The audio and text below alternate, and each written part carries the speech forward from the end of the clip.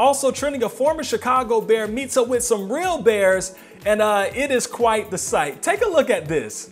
NFL's Ha Ha Clinton Dix was riding his scooter when he made eye contact with not one, but two bears. That looks like Mama Bear.